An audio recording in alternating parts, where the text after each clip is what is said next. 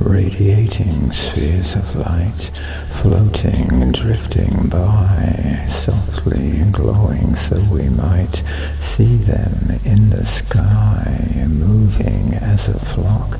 They swerve, synchronized in flight, soaring, diving, every curve sparkling in the light radiating spheres of light around both you and me and everyone that is inside each conscious entity rising with the morning sun, then drifting here and there, intermingling to become beings breathing air every day and every night, hovering like bees, radiating spheres of light are conscious entities floating in the atmosphere, drifting in the wind. Spheres of light are always near on this world.